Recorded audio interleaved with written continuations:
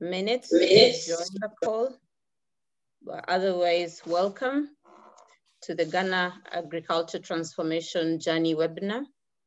As we wait for our participants to join in who are coming in in good numbers, we should be able to start in a couple of minutes. So we'll give it about two minutes. And Nimo, if you're able to play any of our videos, our introductory videos as we wait for this one minute, that will be good. We're already on 65 plus and counting.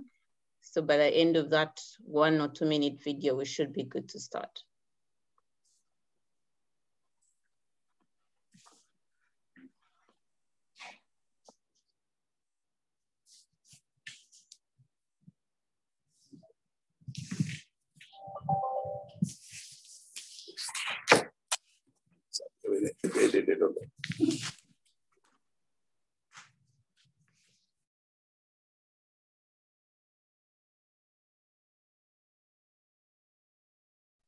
For the participants that are joining us online, this is the Ghana Agriculture Transformation Journey webinar hosted by the uh, Ghana uh, Agra office. We will be starting in a short while, uh, but for now, please make yourself comfortable. Uh, the agenda will be shared shortly. We will be speaking with our partners on Agra's contribution to Ghana's agriculture transformation agenda. We're excited to meet all of you. If you are already online, feel free to introduce yourself in the chat room. Tell us who you are, where you're joining from, you know, how you've been working with us. I already see Hadiza Yaro has already posted. Welcome to the webinar, Hadiza.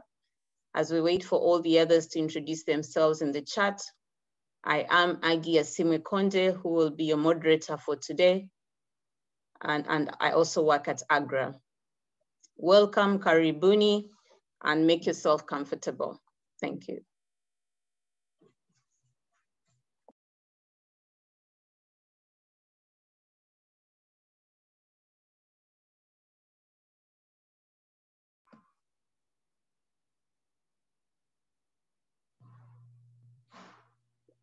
Now System Shabe from Uganda, you're welcome. I'm from Uganda myself. I guess that's why I'm excited with the country, but I can still see a couple of our partners coming in. We're excited to, join, to see you here. Dr. Takemo, welcome. Please keep posting. We have another 30 seconds and we should be ready to start.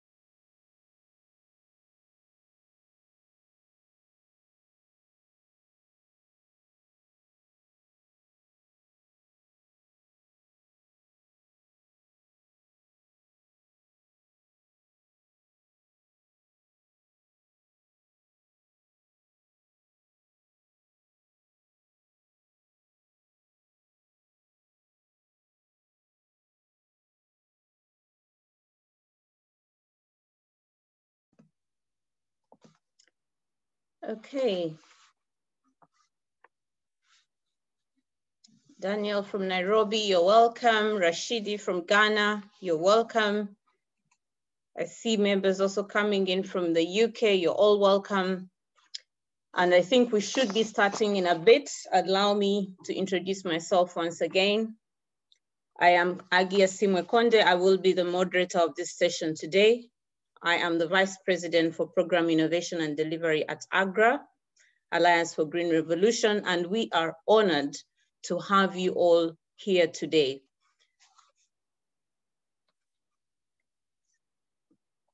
We will be joined, I think, later today by the Honorable Minister of Food and Agriculture, Dr. Owusu Afriyie Akoto, our AGRA President, Dr. Agnes Kalibata, the West African Regional Head, Mr. Foster Boateng, the directors of Ministry of Food for Agriculture present here today, our development partners that have taken the time to join us this afternoon, our implementing partners without whom we would never have been able to register the success so far, our colleagues that have joined us from all across the AGRA countries, our employees that are in Ghana that are doing a phenomenal job implementing this work. Ladies and gentlemen, all protocols observed. Good afternoon and welcome to our webinar, which has been themed the Ghana Agriculture Transformation Journey, a time with our partners on assessing our contribution to the agriculture transformation agenda in Ghana. Our agenda today is quite heavy, so we will be trying to manage time uh, as, as, as most as we can. So for purposes of guidance, I encourage our participants online to please uh, post your comments in the chat. We will be looking at the chat very actively to ensure that all your comments and questions are addressed, but we will try and stick to the chat room for questions. Unless time allows, we will then open up a Q&A uh, somewhere at the tail end. Uh, but the way we've structured the webinar today, we will be looking at four thematic areas of focus, which broadly define the strategy that we've been implementing in Ghana over the last five years. And uh, I, to, to tell us more in detail on why we are here today, allow me to introduce and welcome our, our regional head, who also started that as, as our country manager in Ghana, Mr. Foster Boateng, Welcome to the floor and over to you. Good, good afternoon, everyone, and uh, good afternoon, uh, my Vice President Aggie, and um, the Honorable Minister, uh, our development partners and directors of the Ministry of Food and Agriculture, and colleagues from AGRA. Today, I'm just here to give uh, an account of our stewardship over the period that AGRA has been working in Ghana. First of all, let me say that um, today is a day of reckoning to really tell our partners what we have been able to do. But before then, I will share with you a quick story about an old man, uh, the wisest old man in a village, that two young men went to him. And the two young men carried with them uh, a bird and put them under their armpits and told the old man, we are going to trick this old man to find out whether this bird is dead or alive. So they went to the old man and said, old man, tell us, is this bird alive or dead? The old man said, if I say he's dead, this young man will let the bird fly and disgrace me. If I say the bird is alive, they will kill it. So he told them, the answers are in your hands. So today, I'm here to tell our partners what the investments we have done, but the results are in your hands. You have to tell the whole world whether we have been able to achieve what we set ourselves to do. So without much ado, let me say that our journey started in 2007 in Ghana.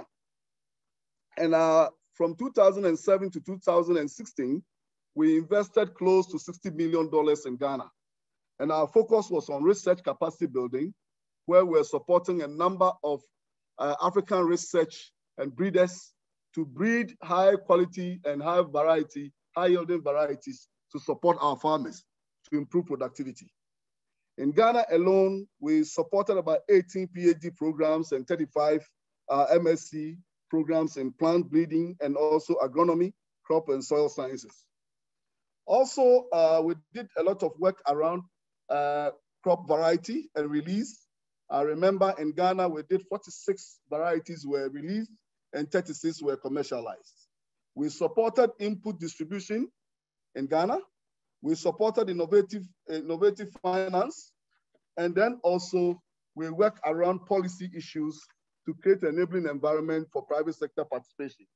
I quite remember we supported things, uh, policies around Plants and Fertilizer Act and the National Fertilizer Policy. Now, we made some successes, but there, there were some also challenges. A bit, uh, our investments were uh, piecemeal. It was not an integrated approach. So taking a step back, we realized that we needed integrated approach in driving inclusive agricultural transformation. What actually informed us was one, we realized that most of the farmers in Ghana were smallholder farmers, and then uh, their productivity were low. We also realized that they were inefficient and uncompetitive. And so there were a lot of challenges uh, confronting the agricultural sector in Ghana. We saw dysfunctional production and delivery systems. We also saw climate change effects on agriculture, and so we need to revise our notes and make new investments.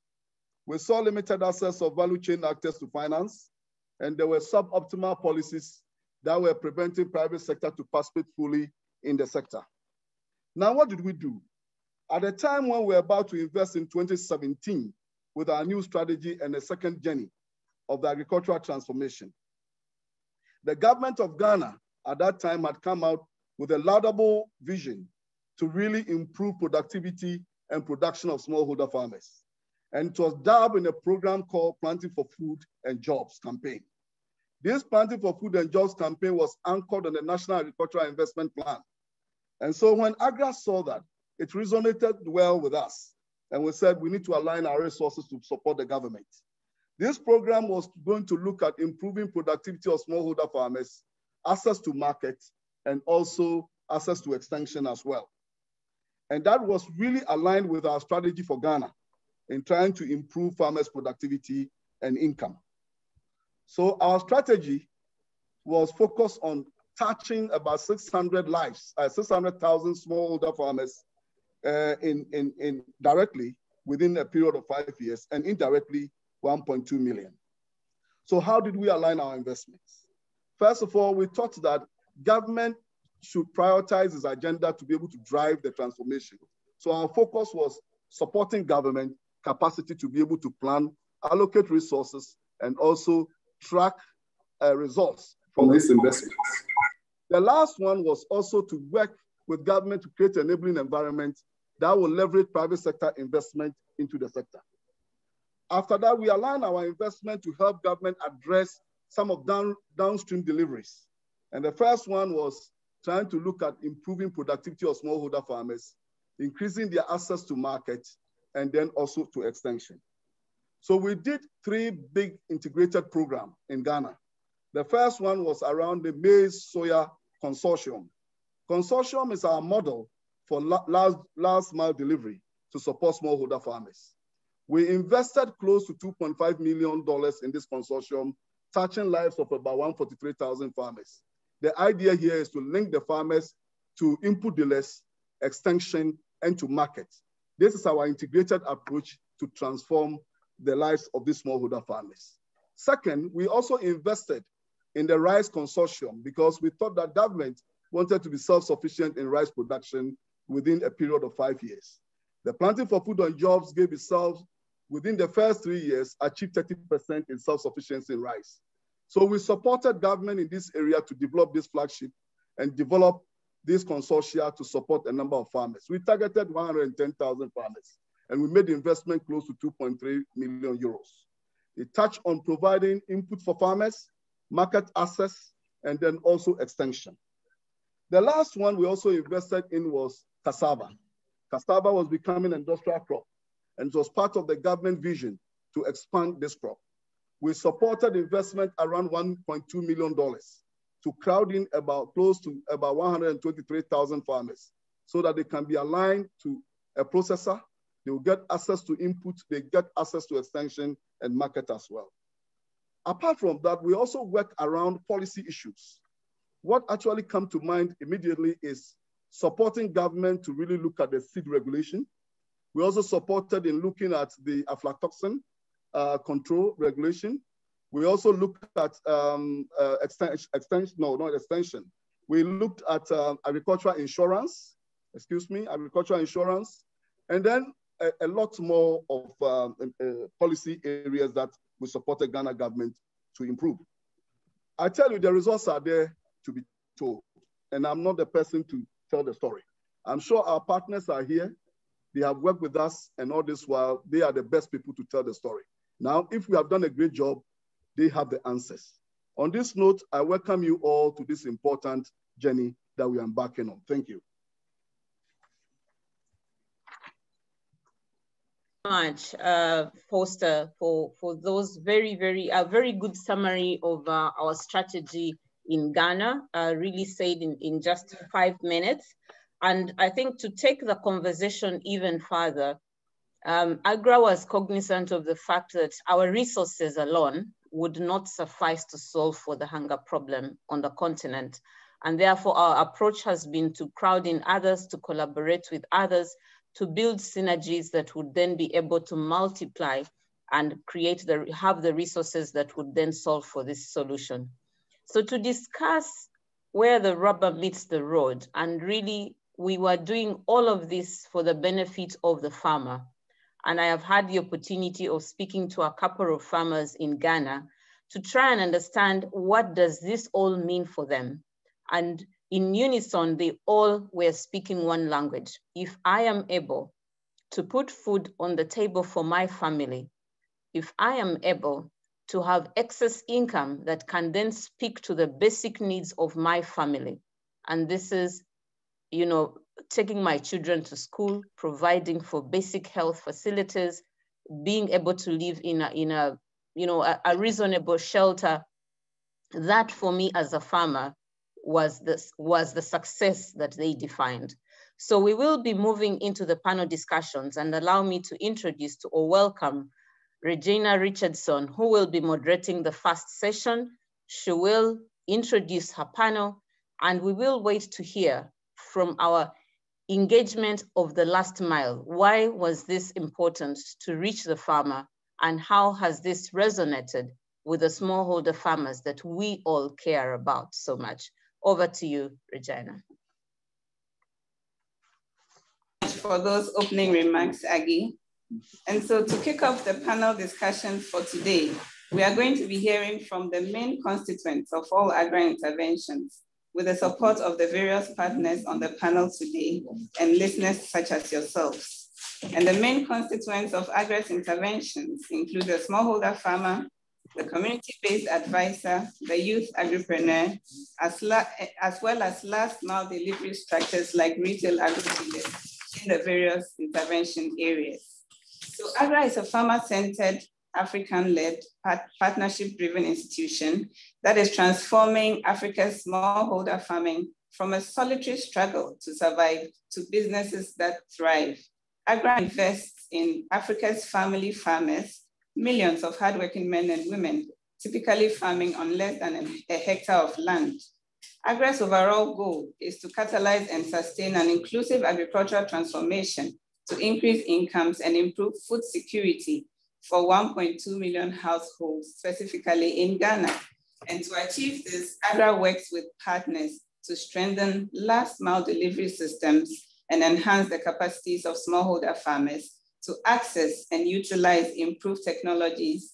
And we are looking at seeds, integrated soil fertility management, and crop protection projects at the last mile. AGRA also works with partners to increase yields and production, enhance the quality of grains produced by smallholder farmers, to enable the farmers attract premium prices and structured markets, thereby increasing smallholder farmers' incomes. So our network for last mile delivery include community-based advisors, youth agripreneurs, retail agro dealers, and they are supported by a number of organizations in collaboration with AGRA, such as the Directorate of Agri Extension Services of MOFA, the Hunger Project Catholic Relief Services, Farmerline, Sahel Grains, Nestle, and the African Fertilizer and Agribusinesses Partnership, among other organizations. We are going to be hearing from two CBAs who are nominees, Janet Sarkwadi and Jalilu, and a youth agripreneur who is Kande Malik. And then we'll wrap up this session by listening to a retail agro dealer. And all the nominees are going to be sharing with us the activities that they have engaged in and continue to engage in to support farming families in their districts and communities. And they're also going to be telling us about any early impacts that they have seen and suggestions um, for interventions going forward. So I would like to pause here and give the opportunity for us to listen to our last mile and major constituents for interventions. Thank you.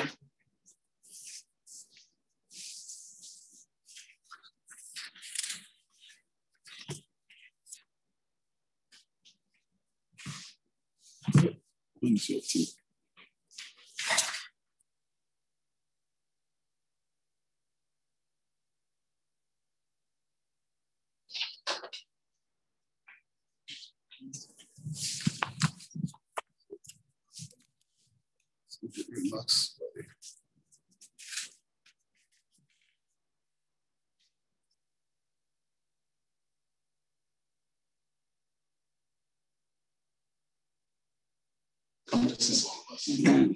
Who's, who's supposed to come online now? It's Ben. Uh, I'm not so sure. Regina, uh, who, who's coming on? Is it the video? Or are we Let's go are to the going next to be hearing from the CBAs? Tell your video. Yes, um, Ben is just getting ready to play the video. Okay, great. Okay, so uh, our audience, please bear with us. Um, just in case of some technical hitches, we, we should have had live audiences, but as you know, our farms are usually in rural places. Connectivity is not that great. Uh, so I think we have a plan B just in case uh, plan A doesn't work. Uh, but Regina, your time. From the Shadaso community in Okay. South, Bulu East region. I was trained under GASEP as a CBA. After my being trained as a CBA, I established a mother demo to train farmers on the use of hybrid The volume needs to be upped. pro- proper application of fertilizers to improve yields. I also assisted to distribute seeds and fertilizers to farmers for establishing of baby demos. To learn new ag- I'm Sakwadi Janet from the Shadaso community in Ukrainian South, Bulu East region. I was trained under GASEP as a CBA. After my being trained as a CBA, I established a mother demo to train farmers on the use of hybrid seeds, correct spacing, proper application of fertilizers to improve yields. I also assisted to distribute seeds and fertilizers to farmers for establishing of baby demos to learn new agronomic practices. As a result of my work as a CDA, some of the farmers in my community are getting high yields from their farm from their farms. Example, one female farmer testified that her yields, her farm yields has been increased from 7 bags to 21 bags per acre because she's now using the new hybrid seeds with good agronomic practices. So we thank Agra so much for the support to improve on our farm practice.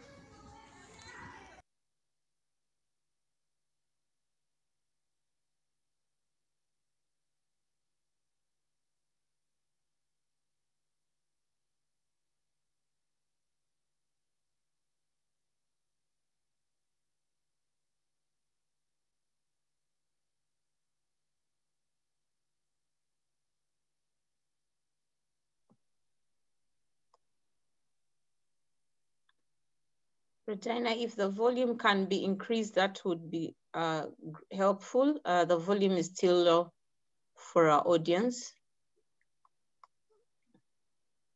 Iragi, we've taken notes. Thank you. My name is Mohamed Abdul Jalil. I'm from Konfose, that's Solatuna Kalba district. That was last 2019. I was selected as a CBA.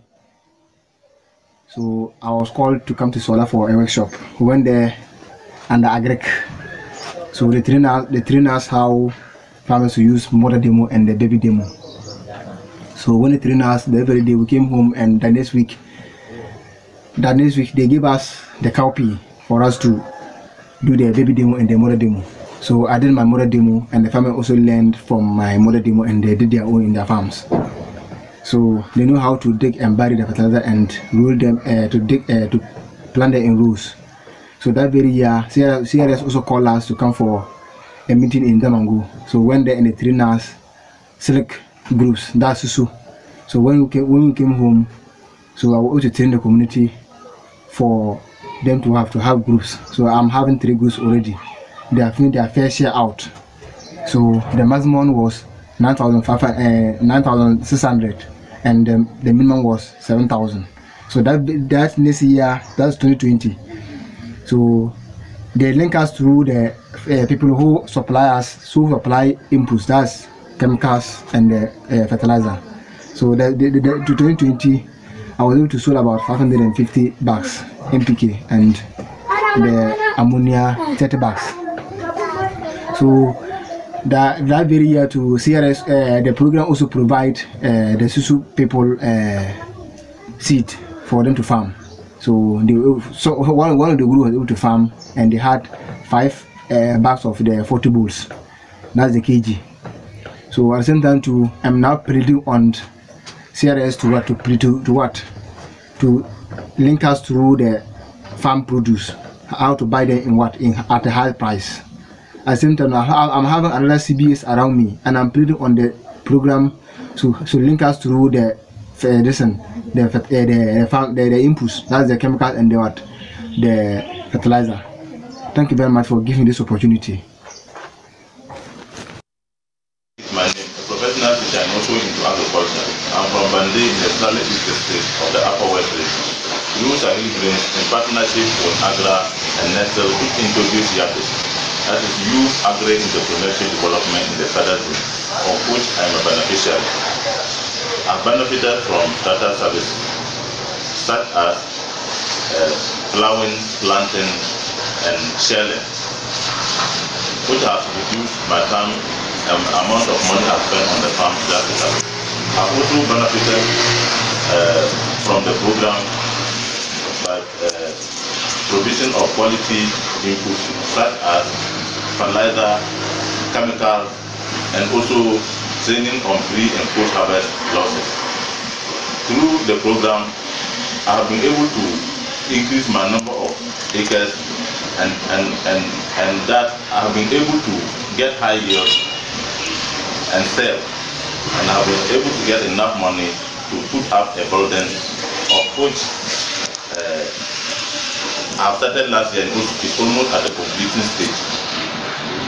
I recommend that people be brought early and also farm mechanization such as the machines to also be increased in number to enable the work to move on faster for us. I thank uh, Nestle, Sahel Grain, Agra and Yadis for initiating this program. Thank you very much.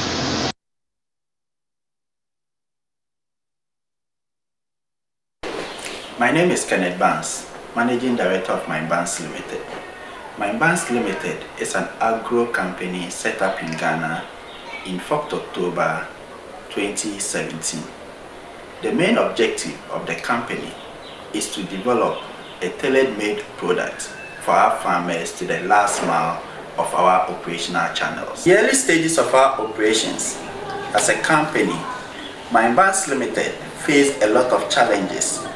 Some of them were access to finance to help us operate into our capacity, access to markets in acquiring the goods for us to distribute to the last mile of our value chain, and understanding of our model, which became a very great challenge to most of the big suppliers because they did not see why we should go into the hinterlands as an operational model. Under the SIPMA project, AFAP worked with my banks to help address some of the challenges at our early stages. Notably, through the organization of seminars, my banks were able to pick up the idea behind effective branding. Currently, my banks has been able to do its own branding with eight vegetable seeds, notably pepper and carrot. This branding has given us great access into the market where farmers, retailers, distributors are able to identify us through our branding. These are some of our products. Our Kenyan pepper, which is fully branded with Mindbanks logo at the back and the inscription of the products in front in association with Planting for Food and Jobs as under the subsidy program for 2021. Another one is our carrots, which is fully noted and known in the market through the SIPMA project with the help of AFAP. Mindbanks Limited was introduced to several financial houses such as Injaro, ABSA, EcoBank, ADB, and CBG.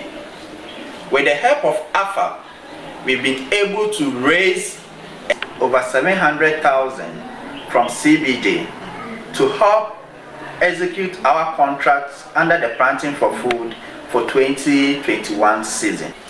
Through the SIPMA project, AFAP introduced Mindbanks to a number of suppliers, AMG, Demeter, Intercontinental, Omnifed, and all these companies came to our aid. From our inputs supply in our first year of 20,000 bags, in our second year, we were able to do a supply over 50,000 bags, and in our third year, we did a supply of 156,000 bags. This year, we have a projection over 360,000 bags to help us get into the last mile of our supply chain. Building our capacity as a company, we currently are in talks with OCP in importation of our own products into the country. We've also are in discussion with foreign investors who have agreed to give us 3 million USD for our activities for the next five years. And we are also in rollout in establishing our satellite warehouses across our three regional operations. It's our fervent prayer that our relationship with AFAP will grow to become stronger and stronger. Thank you.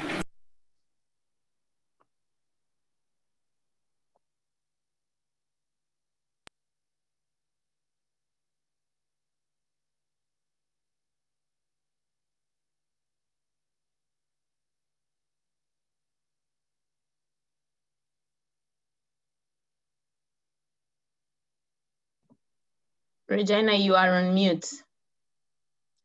Thank you so much for those videos.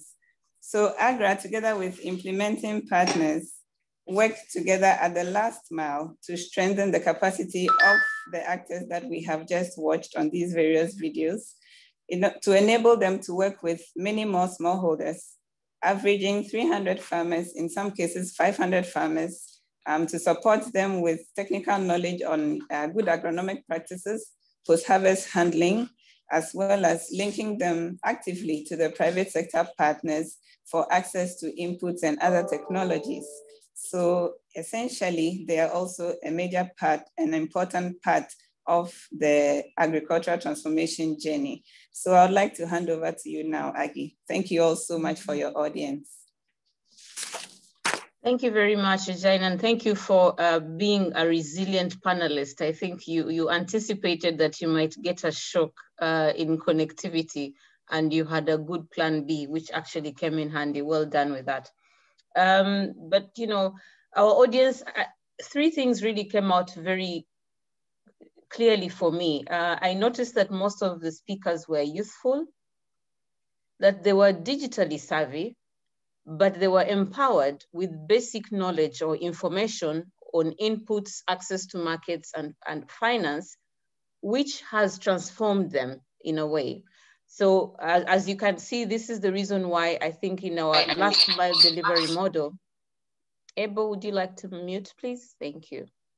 You know, we noticed that this is a system that needs to be functional if our smallholder farmers are to indeed uh, access the right inputs on time, but also be able to access markets and then be able to earn, uh, have increased livelihood, increased income and better livelihood.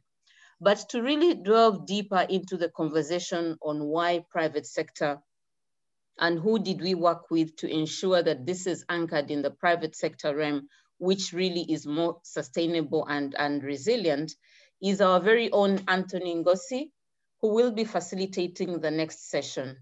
So welcome Anthony Ngosi to this uh, webinar and please take it away. Thank you, uh, VP. A very warm welcome to this session where our panelists from uh, the private sector, the NGO, and research institutions that have been partnering with AGRA uh, in developing the country's uh, market systems will briefly share the highlights of their experiences.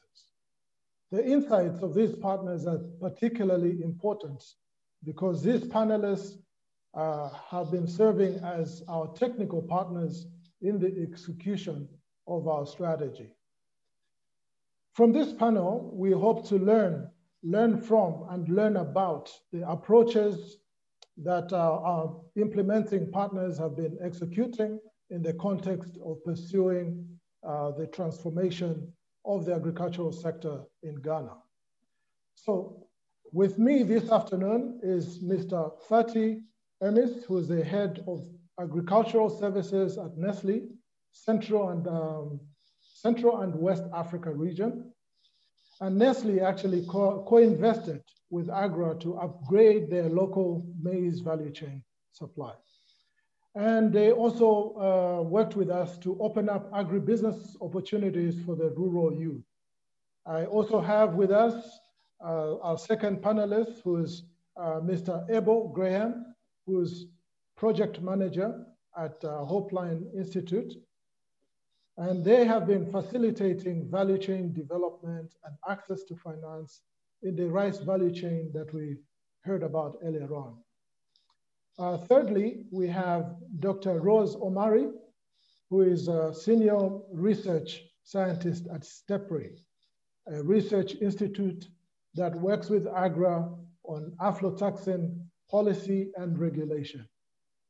And fourthly, uh, fourth panel panelist will be uh, Professor Eric Danquah, who is the founding director of the West Africa Center for Crop Improvement, WACCI, at the Institute of Ghana in Legon. So with these partners, uh, I'll just go straight away and ask uh, that uh, with no, without any further ado, we can go straight into uh, the discussions where our first panelist, uh, Mr. Fatih Emes, uh, please go ahead and share your remarks in the next four, four minutes. Thank you. Thank you, Anthony. Uh, Honorable Minister of Food and Agriculture, Ghana, uh, distinguished panelists from MOFA, AGRA, USAID, and universities, ladies and gentlemen, all protocol observed. Despite the enormous potential for the youth in agriculture, the sector is heavily dependent on the aged farmer, terribly threatening the sustainability of the sector. The average age of farmer in Ghana is 55 years, whereas life expectancy in Ghana averages between 55 to 60 years old. Youth participation in agriculture sector is very low due to many constraints. Nestle vision is to provide accessible and affordable nutrition for all. To achieve that, increasing local sourcing from Ghana is one of the Nestle key objectives. Increasing local sourcing is also in line with our creating shared value approach. On the community side, it's a way of investing significant resources in local farmers, SMEs, and economy. With above situation, Nestle Ghana used to face quality challenges on local grains, particularly on maize, due to the high level of mycotoxin contamination, which was a threat in front of maximizing local sourcing objectives. This was due to low level of education on pre and post harvest practices, as well as low supplier technical capacities. Nestle and Agra entered into a partnership to catalyze the sustainable development of farmer livelihoods and youth opportunities in farming ecosystem and agri-food value chains across Africa. Starting with the youth agripreneurship development initiatives in Ghana, our goal is attracting graduated agripreneurs, continue to supply Nestle with high quality of raw material while successfully leading their farm in a continuously changing business environment. They are natural leaders, inspiring fellow farmers to copy with pride and develop their own farms to become supplier of Nestle. To achieve this goal, we are working with Sahel Grains in the implementation of Youth Agripreneurship Development Program in northern part of Ghana. Thanks to AGRA and Sahel and our partners, our intervention, we built the capacity of 386 youth agripreneurs through training in crop agronomy, entrepreneurship mindset, and leadership skills need to run a business operation. Additionally, 36 youth of farmers coach and mentor to establish an outgrower. We also provided the input supply like a seed, fertilizer, and mechanization services to the all youth who is part of our project. We also provided them with the precious technical know-how and hand holding that give to the local farmer and SMEs to become world-class supplier. So if you look at the high-level impacts of our intervention with the, those youth farmers in Ghana, the yield, average yield, not the specific individual farmers, overall our uh, participating youth agripreneurs, their yield is increased 12%, while the income is increased 27%.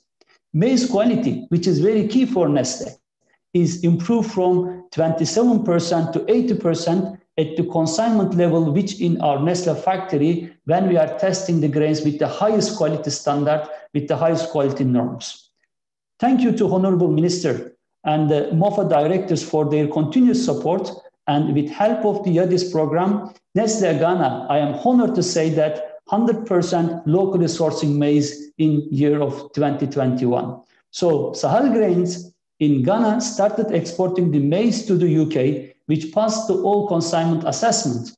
That's the where we see the uh, entire capacity improvement of.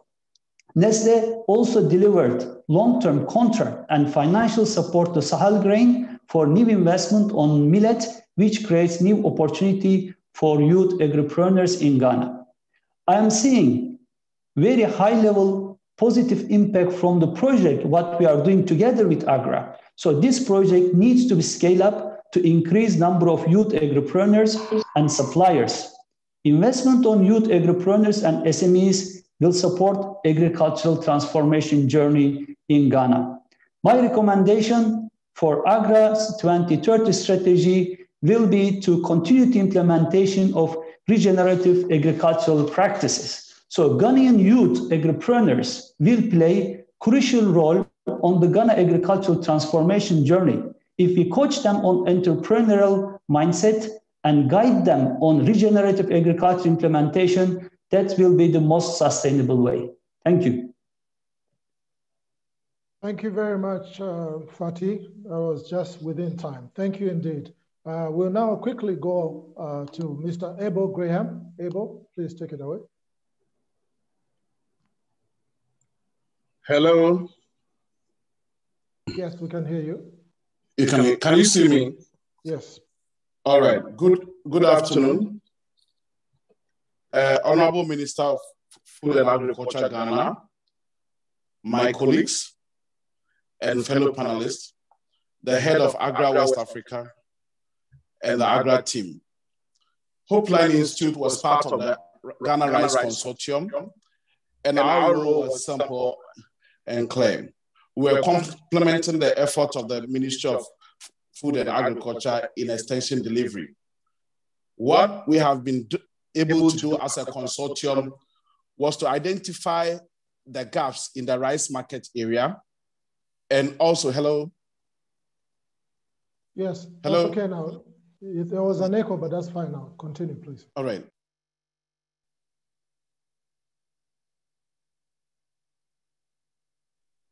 Uh, Ebo, you've lost your audio. We can't hear you. Okay, uh, I'll suggest. Can you hear me? Yes, okay, you're back. Okay, all right. Please go.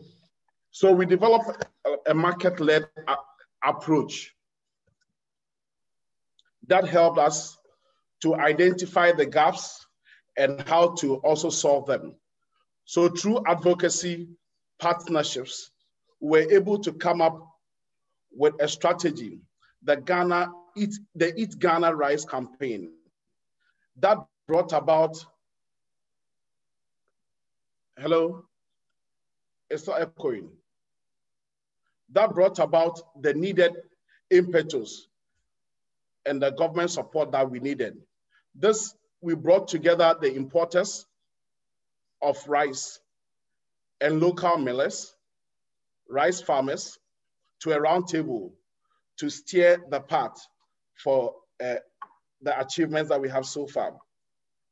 We were able to increase with the support of these stakeholders from 2017 till now. Rice production went from 665,000 metric tons in, in 2016 to 960,000 metric tons in 2020. We were able to increase the yield from 1.7 metric ton per hectare to 3.5 as of 2020. We've also been able to leverage investments in the area of rice milling and marketing. Some of the investments came from government side, giving tax exemptions to those investing in the rice sector, and also in private investments in setting up of rice mills. When we the project started, we had seven well-class mills. Now we have 21 with an investment of over $52 million in capex and working capital for these rice millers. Government was also able to give up a revolving fund for rice millers to tap in, in averaging 20 million US dollars to rice farmers. We were also able to strike deals for rice millers for sustainability to the Ghana rice buffer, the Ghana buffer stock, which contracts were given to major rice players who we use them as our anchors to be able to work with the farmers for sustainability. Through that, four major rice importers were able to launch their rice brands in Ghana. Olam, Sorkresa, Welma, and Dagen. These are major rice importers. And we also complement the government for also instituting a 30% local content to all rice importers. So if you want to import rice, look into the country for 30% before you look out for the rest uh, of your import. We were also able to leverage support from the Ministry of Local Government in the area of mechanization, where some of the district assemblies use their district assembly common fund to set up mechanization centers. One of it is at Inobun, the Jabin district, where they got the support.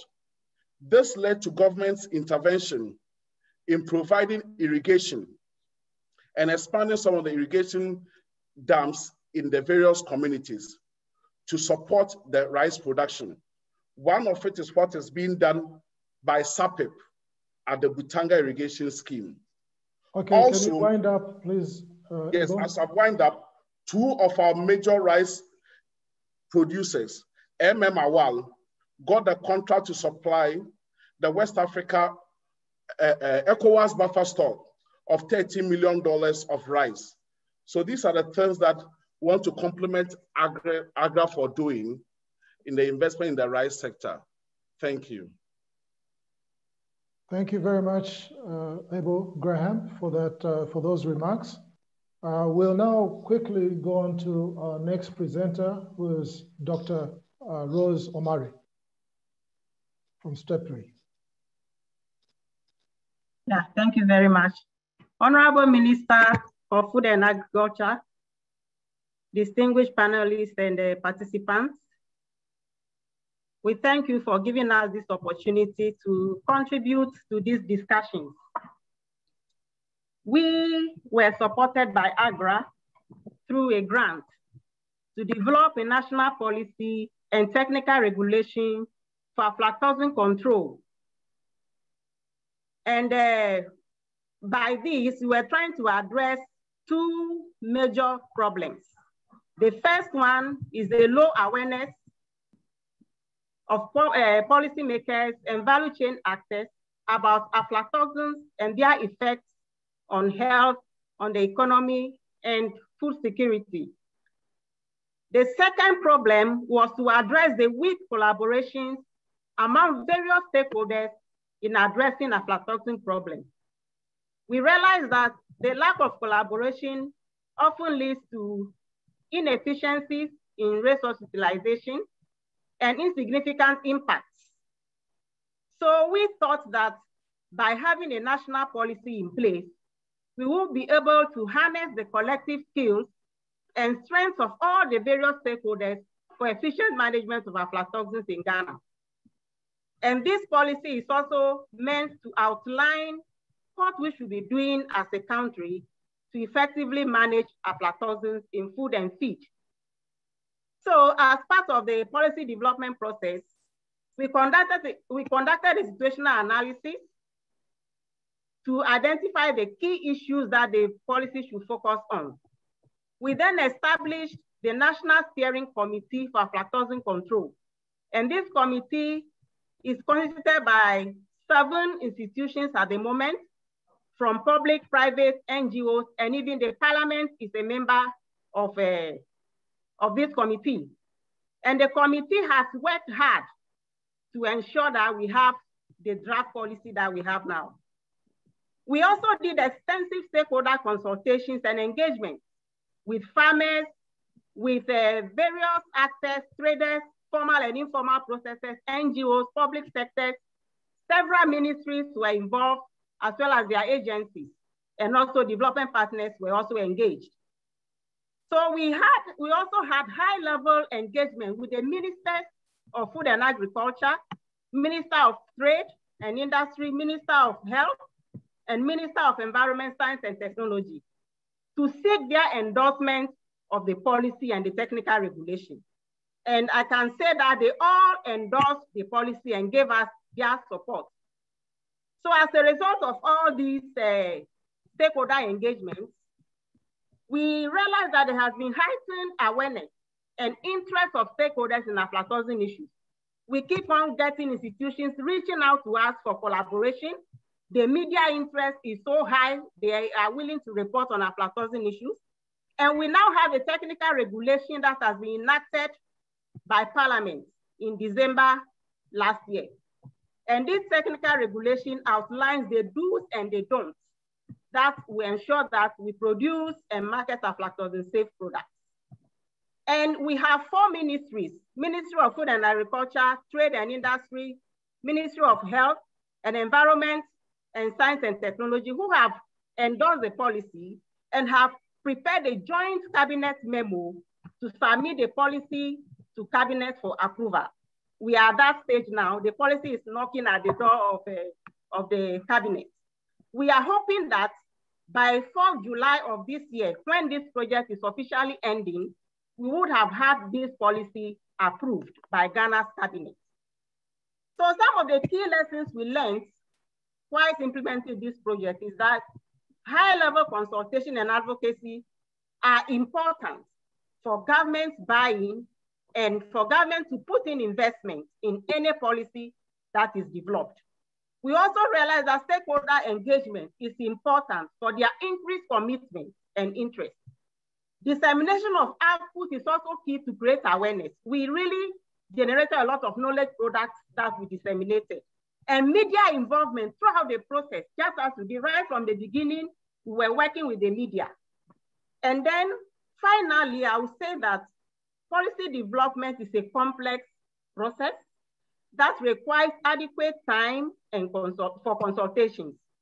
And it is even more complicated when two or more ministries need to own the different aspects of that policy, just as we have for this aflatoxin policy.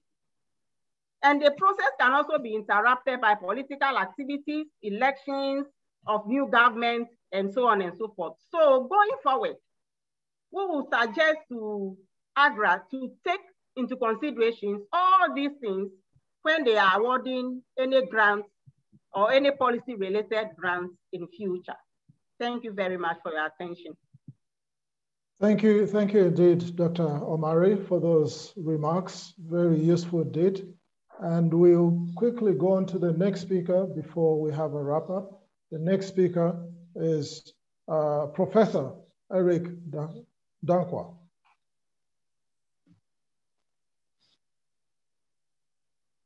Professor Danquah, over to you. Yeah. Honorable Minister of Agriculture, Dr. Owusu Afriyie Akoto, President of AGRA, distinguished ladies and gentlemen, Ghana's ability to feed itself at reasonable cost and become a major food supplier for the world will not be challenged if we significantly transform our agriculture. Thanks to the Alliance for a Green Revolution in Africa, the government of Ghana and our development partners, WACCI is today one of the notable institutions in the plant breeding training and research space in Africa. WACCI was established at the behest of AGRA in 2007. We have a proud global record of having trained 95 PhDs in the past decade. AGRA fully funded 52 of our graduates, out of which 12 are Ghanaians. In total, WACCI has trained 21 Ghanaian PhDs who are currently leading plant breeding programs in eight institutions in the country. They have attracted over $6 million for donor projects, published 72 papers from their research in high impact journals, and released over 40 improved varieties of staple crops, many of which are being commercialized. Our alumni, including Dr. Maxwell Asante, a notable rice breeder in Africa, will have been lost to the diaspora if WACCI had not been established. This gives credence to our philosophy that training African scientists in Africa for Africa is a smart development investment. Um, itself is in the forefront of delivering innovations which are getting to farmers through public-private partnerships. Our high yielding maize hybrids yielding 9 to 11 tons per hectare developed with support from AGRA is testament to our prominence in the maize improvement space in the country. Through our leadership of the Ghana Early Generation Seed Consortium for Sustainable Production of Quality Seeds, we are partnering, partnering with the Crops Research Institute, the Savannah Agricultural Research Institute, the Integrated Water and Agricultural Development Ghana Limited, and the Legacy Crop Improvement Center to deliver 115 metric tons of foundation seeds of maize, cowpea, soybean, and granules to the Certified Seed Consortium led by the National Seed Trade Association of Ghana for the production of 6,000 metric tons of certified seed, we should get to farmers by the major season of 2022. And I believe this will boost the Ghana Planting for Food and Jobs program. Let me hasten to add that we are also leading efforts at equipping farmers with the knowledge and skills that will allow them to run with innovation in their fields to boost their productivity. We believe our training programs would lead to increased adoption of improved varieties, which would allow Ghana to work towards food and nutrition security if we can sustainably scale up what we are doing with the private partners. WACCI, the center which was founded 13 years ago thanks to AGRA, has become an African success story and can lead in efforts to transform agriculture in Ghana if the center is adopted and fully funded by AGRA and the government of Ghana under the AGRA's 3.0 strategy as a regional hub for agricultural innovation. I dare say that funding strategic public-private partnerships for the development of the Ghana seed production systems is a smart development investment, and we commend the Ghana Inclusive Agricultural Transformation Program for the opportunity to lead the Early Generation Seed Consortium. We have even better innovations in the pipeline, and we ask for more support to show that we are a truly excellent institution. And as we say in Agra, let me seize this moment to appeal to the government of Ghana to do more for impact-driven research, for we cannot transform our agriculture without innovation. We need to build resilient and robust food systems underpinned by self-reliance. In closing, um, Mr. Chair, let me reiterate that the promise I raised in the opening statement could be turned into reality if we would prioritize agriculture. We have to think beyond Malabo, cross the benchmarks to demonstrate that we truly envision a Ghana without aid. Thank you.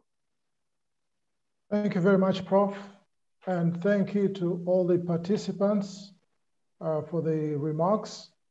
I think what is coming out very clearly uh, from the first, uh, we, from uh, Fatih from Nestle, we heard how backward integration is happening and investment is going even towards uh, servicing, providing services to smallholder farmers, including extension, uh, mechanization, and access to, to inputs because of the partnerships that we have developed. We, we also heard about the uh, aflatoxin management, which has been very, very important uh, here in Ghana in improving the quality of maize. And then uh, going on to Hopeline, we heard about the importance of uh, marketing of, of local rice.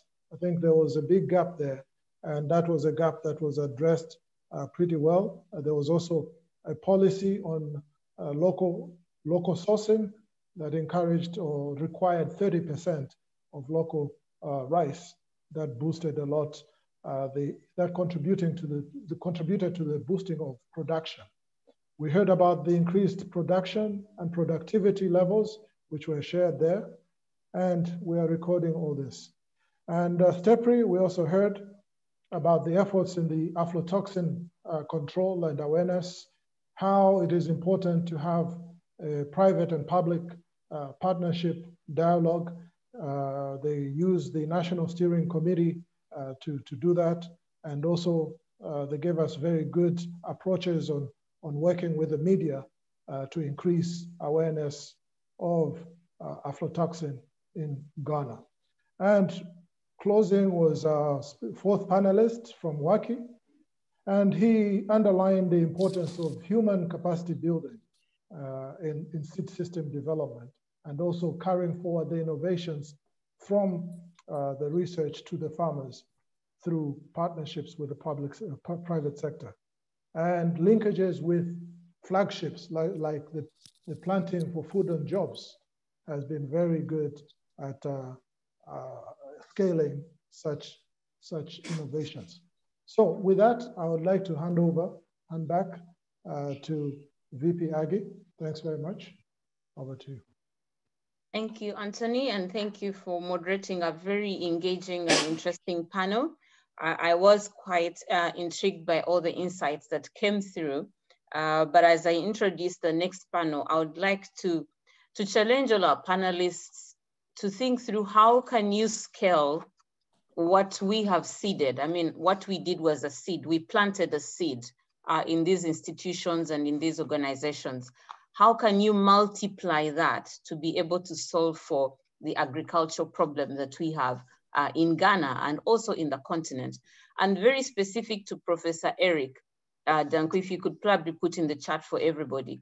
While we built this human scientific capacity in Ghana and on the continent, how do those PhD numbers compare to some of the agriculture giants on the continent?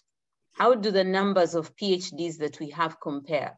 And I do raise this point very specific because the literature we have read demonstrates that for any industry to leapfrog and lead in its sector, it must have the human skills and capacity that supersede any other competitor. So please do share those numbers in the chat as we go along.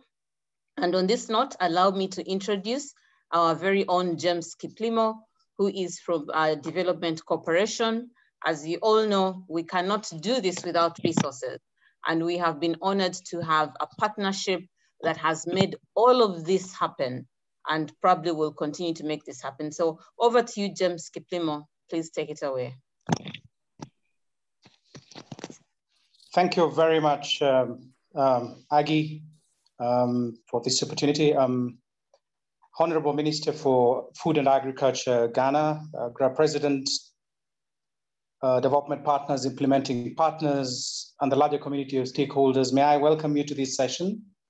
Uh, this session especially is focused around reflecting on the contribution of the Partnership for Inclusive Agriculture Transformation, um, PIATA, to Ghana's ag transformation journey.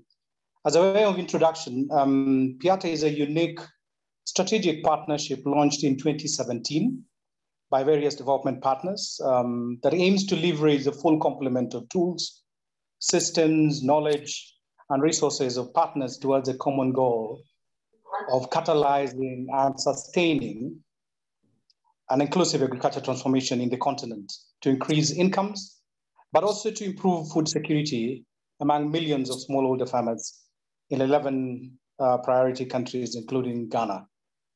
So towards actualizing the PIATA aspirations, um, it was deemed necessary that we have um, PIATA outfits at country level. We are calling them um, country advisory committees that were set up across 11 countries because we do recognize that this is where a lot of the work is being programmed. I'm glad to note that Ghana where the I can um, see was Sorry, somebody speaking. We're glad that Ghana is among the first countries to have set up a, a country advisory committee um, that is now moving, moving things and driving a lot of processes. Um, and therefore, I want to want to thank you, thank the partners that have remained committed and continue to support to, support and drive this uh, platform. In this session, we'll be hearing from uh, the chair of this uh, country advisory committee, um, none other than Amber Lily Kenny. Lily is the USAID Ghana team leader, as well as the Global Food Security Strategy country, country coordinator. And therefore, it is my single honor and privilege to invite her to speak to us and to tell us more around the contribution the PIATA Country Advisory Committee uh, in Ghana has made in terms of contributions towards Ghana's um, ag transformation journey. So help me welcome um, Lily Kenny to speak to us.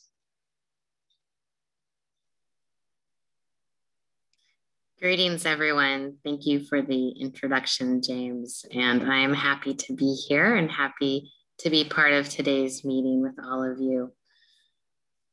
Um, as my role as the Country Advisory Committee Chair, I'd like to just take a moment to recognize some of the successes and contributions uh, that AGRA has done over the past couple of years here.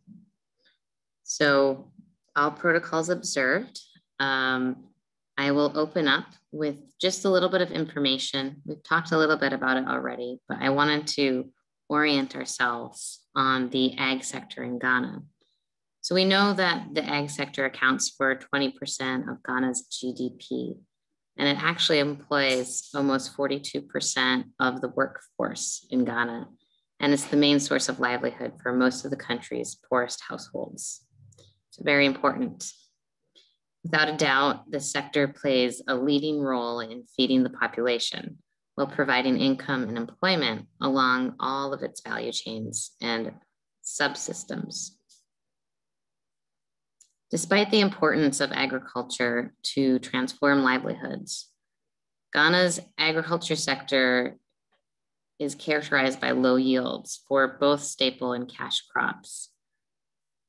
About 80% of staple food crop production are from small land holdings, which is ranges from half a hectare to two hectares. The smallholder farmers are largely uncompetitive, which we talked a little bit about that, and inefficient, resulting in low productivity. Other challenges faced by the ag sector include poor delivery systems for improved technologies to farmers, limited access of value chain actors to finance, and suboptimal policy environment um, as well. So through AGRA, a number of donors and in partnership with AGRA are trying to change this through the Partnership for Inclusive Agriculture Transformation in Africa, or we refer to it as PIATA more often. This was launched in 2017 to transform agriculture systems by driving integrated delivery within our agroeconomic zones and across value chains, market systems to enhance in-country coordination and to deepen engagement with the private sector. In the hopes and the aim to transition Ghanaian agriculture from subsistence to sub sustainable business occupations.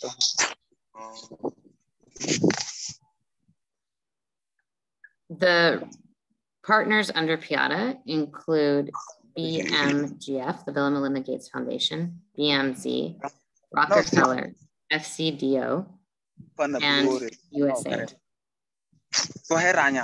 As you, I think somebody needs to mute themselves. Maybe Regina can help us find the person who needs to be muted. Okay, thank you.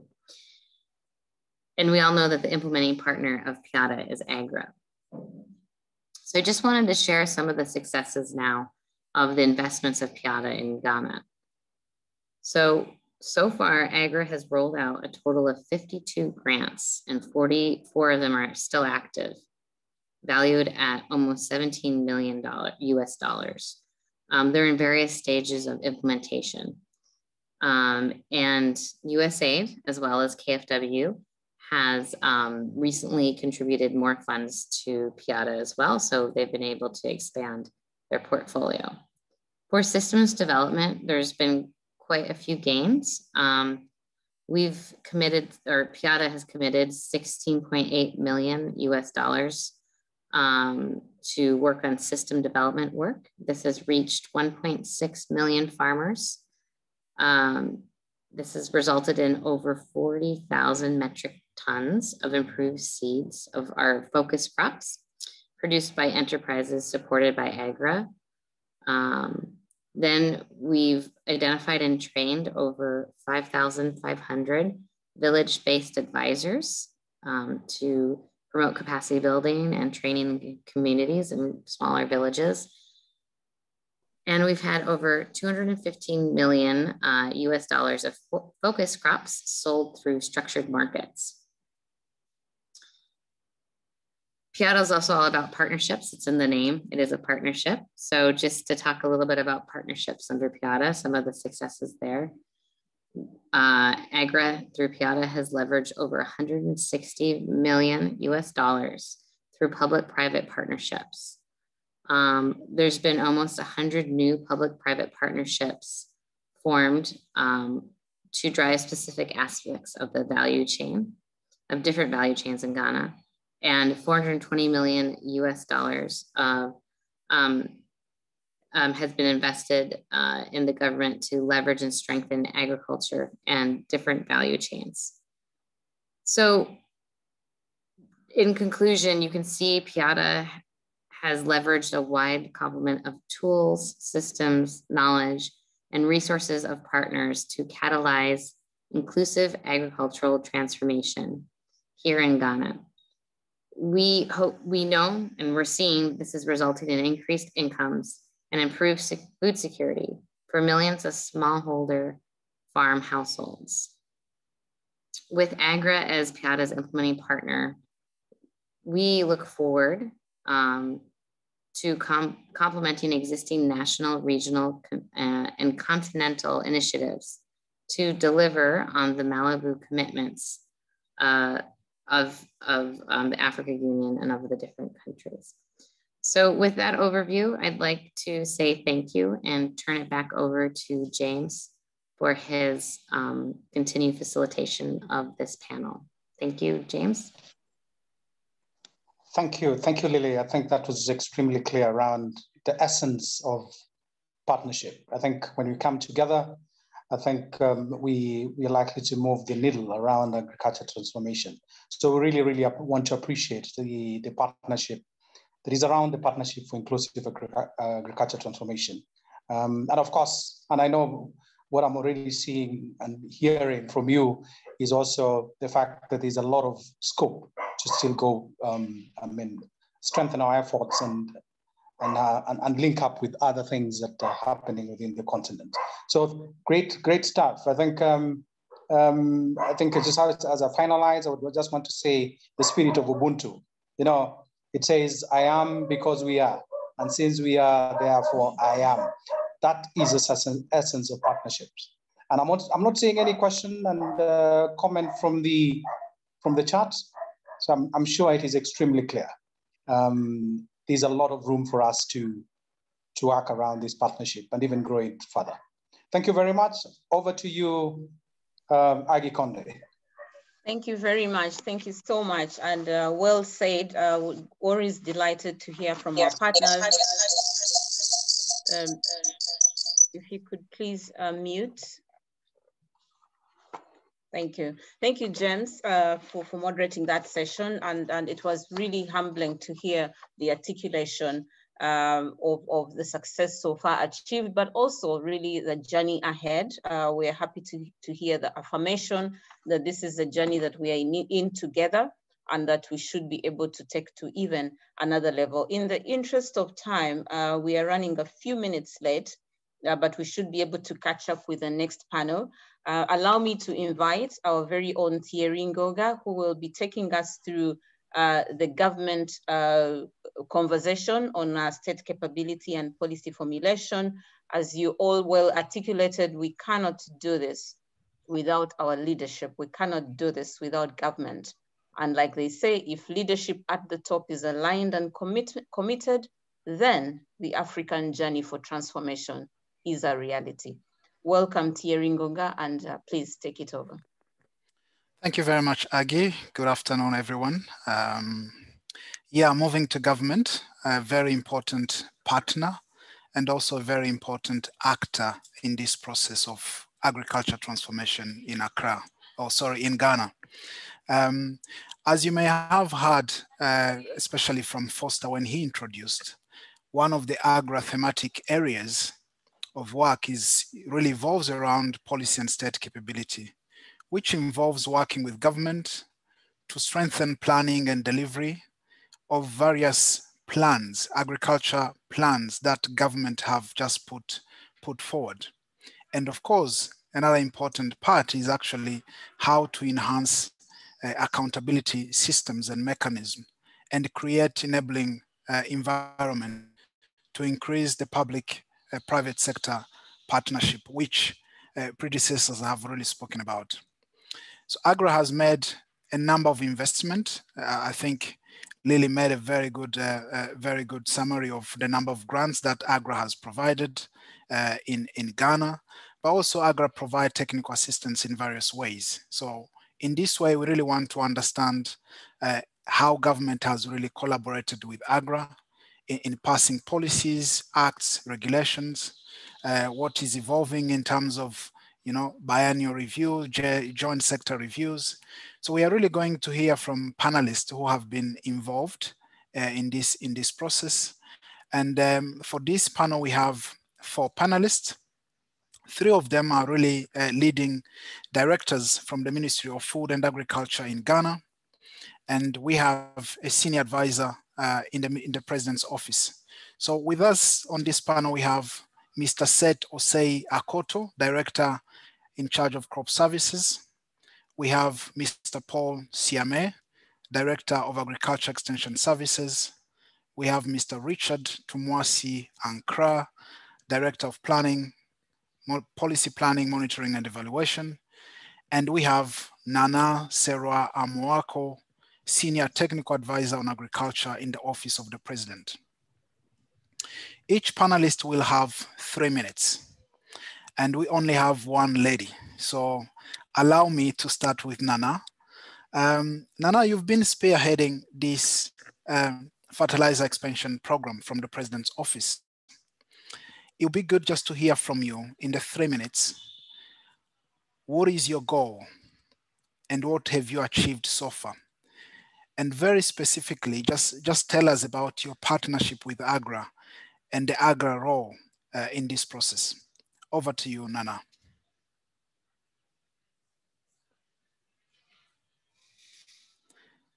Nana, are you with us? Uh, as we wait for Nana to come, um, if she's not with us yet, uh, I would like just to jump to Mr. Akoto, who's the Director of Crop Services. We've heard a lot about the Planting for Food and Job flagship. I want to hear from you, and it'll be good just if you can share with our audience if there is really any evidence that shows that the flagship is or has led to the intended outcome. There were very specific outcomes the Planting for Food and Jobs uh, wanted to achieve. We want to hear from you. What are these outcomes that you would really want to share with the audience? Three minutes. Mr. Akoto, over to you.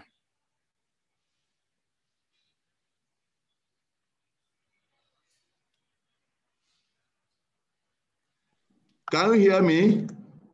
Yes, we can hear you, Mr. Koto. Please okay. Um, Honorable Minister for Food and Agriculture, President of the AGRA, and uh, distinguished uh, panelists, ladies and gentlemen. As you have known, my name is Setos Akoto, and I'm just going to share with you about a, a program that you are familiar with and you have heard a lot about this afternoon. As you all know, under the leadership of the Honorable Minister for Food and Agriculture, Dr. Afriyie Akoto, we started implementing planting for food and jobs.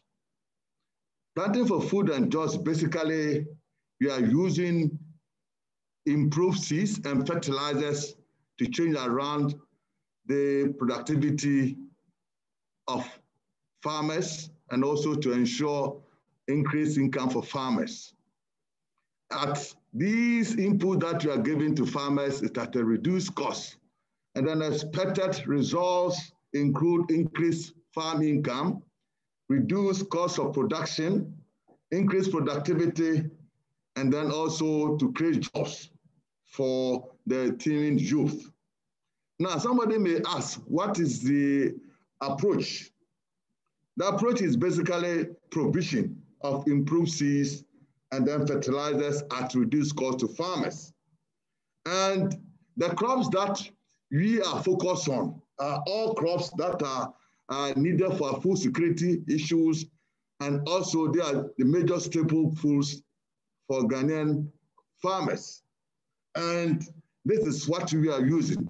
Then two, we are also providing quality extension so that farmers can have access to for, for, for technologies that they can use to increase productivity.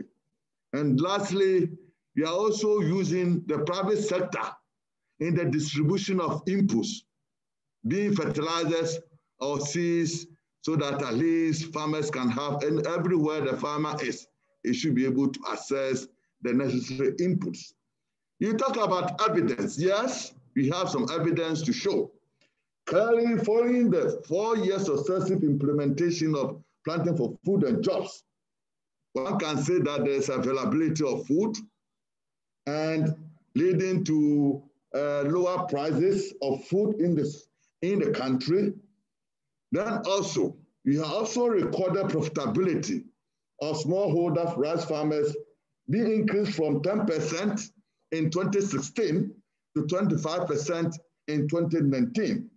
And this is mainly due to enhanced access of farmers having the input that I've talked about, seeds, fertilizers, extension services, and markets.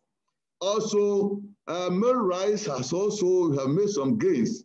Also in mill rice uh, volumes that we are producing for, for the country. We started from 2016, we have made a moderate gains by increasing from 30% to 55% in by 2019. That's the mill rice production in the country. Then lastly, we have also self-sufficiency and cassava production. All these are some of the gains that we have made as evidence through the implementation of planting for food and jobs. Now, lastly, I want to touch on the partnership of AGRA.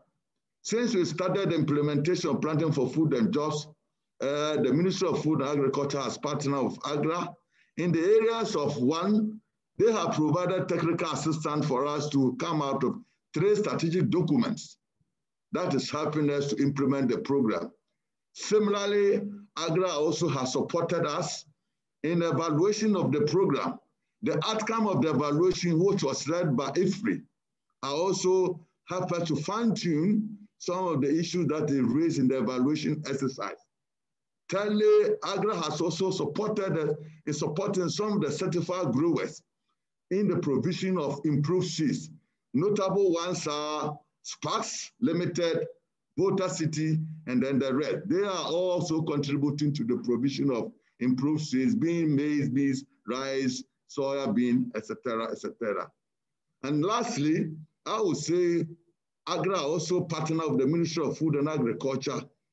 When we started uh, the planting for food and jobs, fertilizers recommendations were blanket, but through the partnership of AGRA, AGRA has supported Soil Research Institute and consortium of scientists to formulate fertilizer, fertilizer recommendations that are all blended fertilizers that we have started giving to farmers since 2019 to 2020.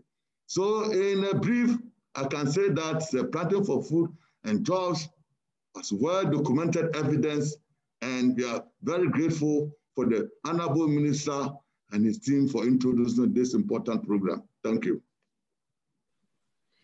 Thank you very much, Mr. Akoto, for very good, good points you've made on time as well.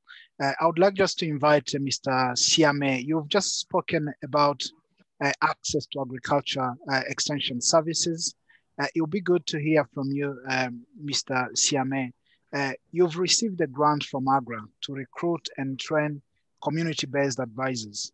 Can you share key changes that you've seen as a result of this in intervention? And how do you see the future of the CBA's model in increasing farmers' access to extension? Over to you, Siame. Thank you very much, uh, uh, Theo.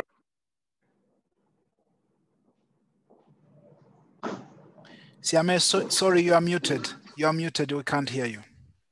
Sorry, thank you very much, uh, Mr. Ngunga. I'll start from where my colleague left off. As he indicated, uh, extension is a key component of the Planting for Food and Jobs campaign by the government, which was started in 2017. Uh, in providing seed, fertilizer, key ingredients to farmers adopting the improved technologies. Uh, we had to also work on the human beings, the, the software to improve the dissemination of technology and subsequent adoption by farmers. So the government did not only stop with the seed and fertilizer, it went ahead and for the first time in many years, engaged 2,700 extension officers. This greatly improved the availability of extension officers and therefore enhanced extension outreach in the country. Uh, therefore, it came as a joy when we had the support from AGRA to also, I mean, to support us in the engagement, recruitment, as well as the training of uh, community-based advisors. An innovative approach to uh, extension service delivery where they provide last mile extension opportunity for communities that have challenge with access to the our extension officer because of limited numbers. Even though I must admit, government has really done well in the past three, I mean, four years, because we had a low number of 1,586 extension in the country then, but with the recruitment of 2,700, it came to boost highly, but uh, we needed more at the last mile level, as uh, indicated by other speakers. So we have been working with the community-based advisors. Uh, it has where we they are trained by our Minister of Food and Agriculture extension officers plus other chain actors uh, so that they will provide those uh, extension services to the smallholder farmers where we, we, we cannot uh, have enough extension officers today. We, we think it has really increased access to agricultural technical knowledge in the communities where we are currently piloting in 28 districts from five regions in the country. Uh, in some of the communities, we have one uh, community-based advisor uh, attending to 300 farmers, and we think if we can get more of such a, a cadre of last mile extension agents, it will go a long way in enhancing smallholder farmers' access to uh, agricultural technical knowledge. Uh, we think this is the way to go so that uh, it will enable the public and private sector to have a large number of uh, extension officers to, to draw on for increasing uh, agricultural productivity. Uh, you know, through planting for food and job. Earlier on, during Regina's team, they made mention of some of the inroads they are making. The concept, the innovative concept is catching up with many of the, uh, the uh, areas we operate in. For example, when you go to Bono region, uh, we have four districts implementing, but four additional districts have shown desire and interest to implement it, and they have started something on their own. And we, we are looking forward to trying to building the capacity of such districts and many more of such districts so that they, they can also hook on to the community-based advisor system, as is the case in Tanzania and Kenya, where there is a full-blown arrangement and you have this non-remunerative extension service providers complementing public uh, public sector extension service so that we have a, a, a good pluralistic agricultural extension service uh, provision in Ghana where all will be involved.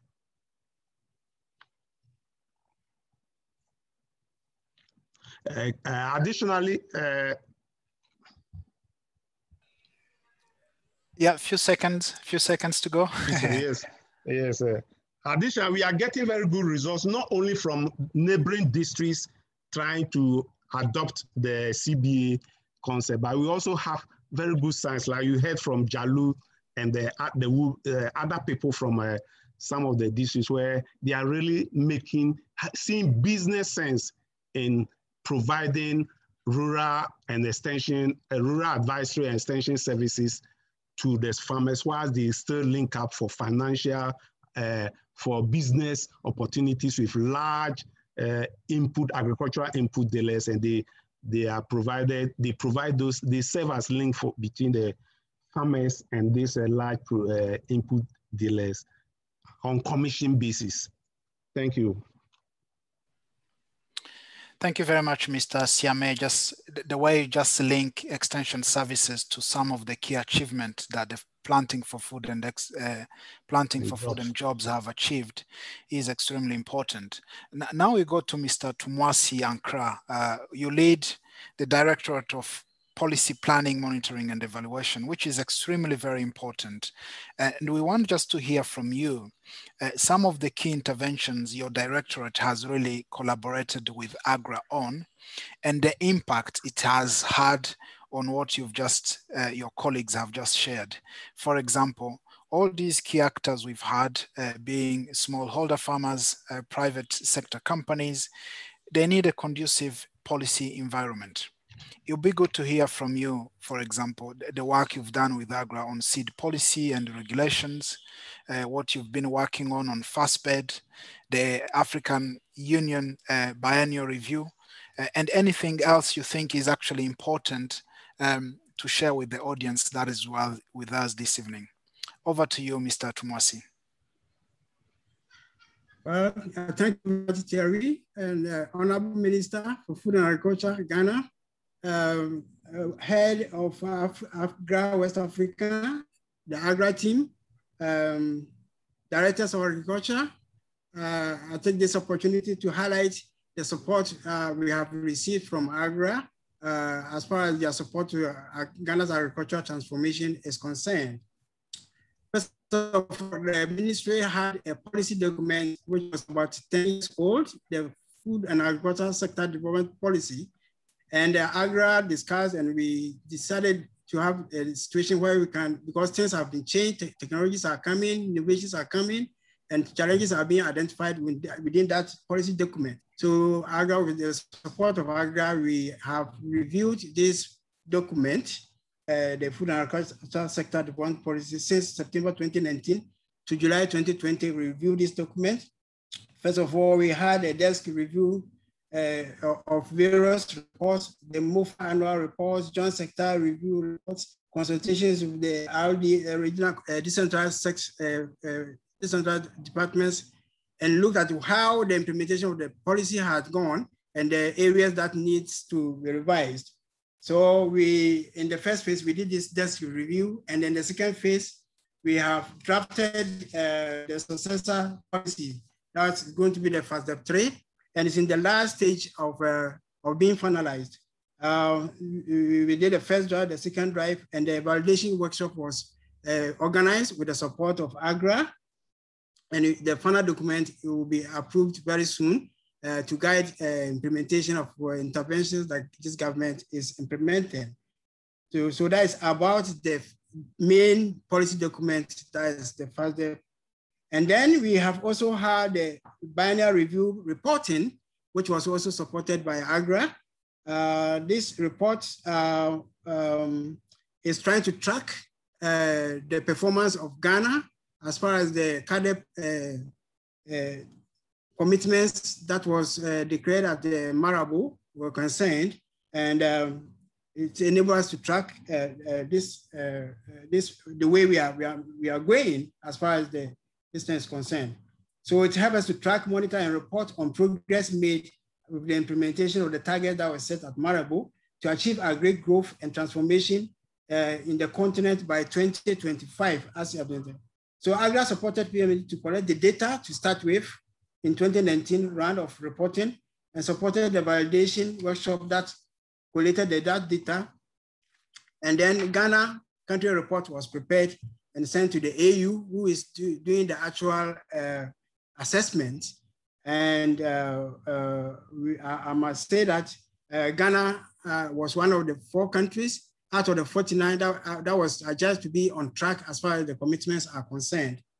I know the commitments are about recommitment of the principles and values of the CAADP process, and then enhancing investment finance in agriculture particularly, and ending hunger by 2025, and reduce poverty by half by 2025 and boosting intra-African trade uh, in 2025 and enhancing resilience in livelihoods and production of systems to climate vulnerability, variability, uh, and, and, shocks, and strengthening mutual accountability to actions and results. So that is, as far as the policy issues are concerned, that is the support that we have received from AGRA. Then we have the micro reforms for African agribusinesses that MIRA, uh, we also receive that support. This aim at improving the enabling agri policy and regulation environment to increase agribusiness investment into in policy, uh, input, supply, and output marketing in Ghana. Uh, how did we do that? We do we went through identifying and prioritizing and reforming uh, program agri policies, areas that we had challenges in implementing, and then laws and regulations and administrative practices that we thought that were not in support of the smallholder farmers who are all who are participating basically in the uh, flagship program the government is uh, is implementing. I think Mr. Kutu has given about how the PHA is targeting uh, smallholder farmers. So, and under the MIRA, we have uh, MIRA, we have had a ratification. Mr. Twumasi, you, you, Mr. Twumasi, you have less than a minute just to finish, please. Ratification and gazetting of the harmonized ECOWAS seed and fertilizer uh, regulations. And this for us is happening because the Ghana seed sector was, uh, was not that vibrant until we started this planting for food and jobs.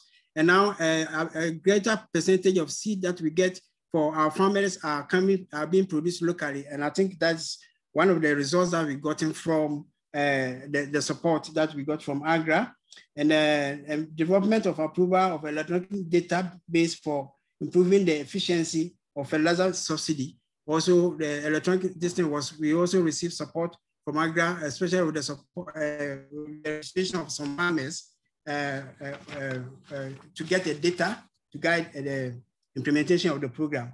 And then development of an approval of policy and act for introducing high quality, high quality flour, cassava flour, uh, as an inclusion of the bakeries that we have in the country. And then the communication of MIRA reforms to uh, those that need the, on a website that everybody can access and know the performance of the sector. So this is basically some of the, uh, uh in fact, AGRA also supported the M&E system for the PFJ and the two, I think Mr. Kutu mentioned two ASA and then IFPRI. We have the report which gives us areas that are gaps. We have gaps to improve on the project of uh, in the implementation of the uh, planting for food and jobs. So uh, at the policy front, that's how AGRA has supported us. Thank you very much. Yeah, thank you very much, uh, Mr. Twumasi Ankra. Uh, quite a lot has been achieved uh, in the crop directorate as well as in the agriculture extension services.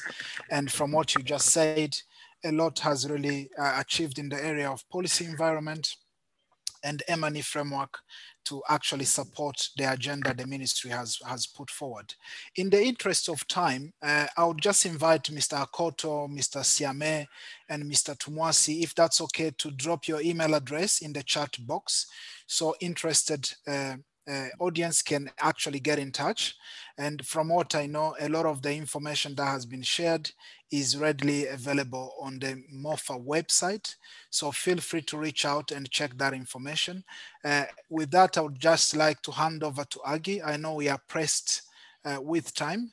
Aggie, if you're there, uh, please take it away. Thank you very much, uh, Thierry, for moderating that session. And thank you, our panelists, for really uh, delving deep into some of the achievements and successes and challenges that uh, this journey uh, we have experienced in this journey. Um, in the interest of time, we're running quite a bit late and Yo, we do have- to international meeting, the 20 minutes, it's more time.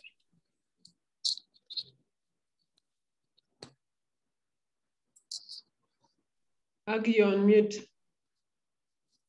Gosh, I've been talking for a while. thank you. Thank you so much, Thierry, for moderating that session. And thank you to our panelists for sharing those insightful comments uh, in that panel. Um, as we close, I would like to take this opportunity uh, to welcome the Honorable Minister of Food and Agriculture, Dr. Owusu Afriyie Akoto, um, our dear President, Dr. Agnes Kalibata, who has now joined us on the call, um, to once again thank our country manager and his team in West Africa, uh, Mr. Foster Boateng, and you know the directors uh, of Ministry of Food and Agriculture present, our development partners that have been led by uh, Amber Lily Kenny, who has uh, graciously uh, walked us through the CAC and what achievements we've had with that, our implementing partners who are on the call, ladies and gentlemen.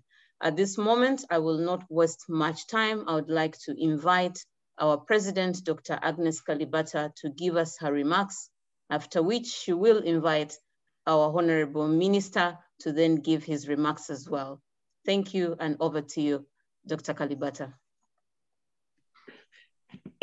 Thank you, Aggie. And uh, it's really good to see you, to see all of you. And I apologize, I've come in at the tail end of this conversation because I was in the Food System Summit, as you all know now.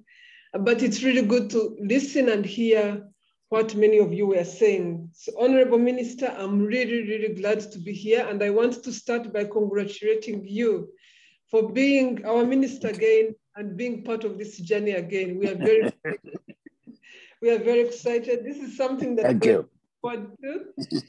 Yeah, and this is something that really, really means that all of Thank us you. doing something right. Uh, your leadership has been amazing.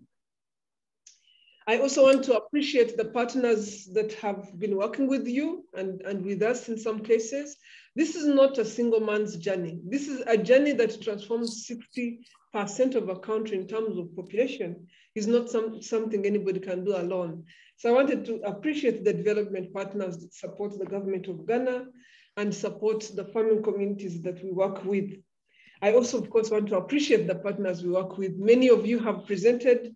This is this work, AGRA made a choice to not do the work, to work through the institution that live on the ground.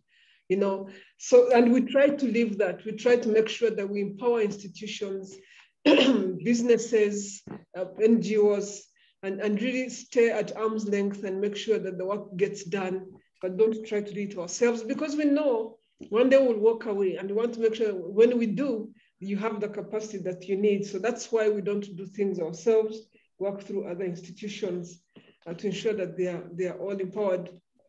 I also want to thank the Ghana team and the staff that has been working with you all for the amount of work they've done. We set out as AGRA with a very ambitious uh, target we, we want 9 million people directly with extension, with ways of accessing inputs that are different than we had been seeing before and across eh, 11 countries. And we've seen, we've reached about 10 million people. Now, the, the results in those countries differ, but I have to say that in Ghana, we've got amazing results based on the fact that our work is combined with the work that the government was doing itself. We didn't try to do things that are separate from what the government is doing. We tried to reinforce the government's own work, whether it's what we did with the ministry or whether what we did with the private sector. I'm sure, Honorable Minister, you're surprised at just how much happens outside your ministry in terms of a number of other things that we fund in government in, in your in your government. But it's recognizing it's recognizing that the ecosystem that is necessary for the agricultural sector to work is everywhere. It's in the institutions of higher learning, it is in, in science, science places, uh, labs, and it is in private sector. And, and to support you is to also move this whole ecosystem along, along with, with what you're doing. So that's what we've been trying to do. We hope that the policies we've been working on uh, go further, you know, go further in the sense that they may, they open up so much space. So that's why when we talk about indirect reach, we talk about our ambition of reaching 21 million farmers indirectly, because when you have policies that work, definitely millions of farmers get reached. And we are very happy to say that we are on target with that goal. We are at a stage which is extremely important and interesting and where we would like to take counsel from you.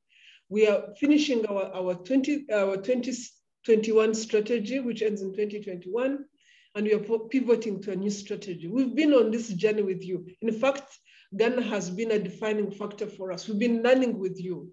So as we, we move into the 2030 strategy, and I, for me, I call it the push to 2030, the end to hunger. Africa needs to end hunger now. We can't continue talking about hunger forever. That push to 2030, it's something we'd like to learn from you all and to understand how we can work better together to be able to deliver together. We do have, we've learned a, a, number of things have happened since we started this journey. We now have the Food System Summit that is in place that we must take advantage of. The, people recognize that we are behind on a number of things, on hunger, on poverty, on, but also climate change is an issue since we started this work and, and recognizing that that context and, and that complexity is going to be very important uh, to, to, to how we drive for hunger and reducing poverty. And I just want to encourage you to take advantage of every opportunity the Food System Summit offers because it's bringing so many people together to have conversations around what is possible. As an institution, I just want to, to conclude on maybe one thing that I find interesting. Like I said, Honorable Minister, we work with partners like, like governments, we work with partners like private sector that we've been talking to. A lot of people have been trying to undermine the work that we do. I wouldn't, I, it wouldn't be right for me not to say that. But I keep telling people that they are not undermining AGRA, they're undermining our partners because AGRA doesn't implement out there.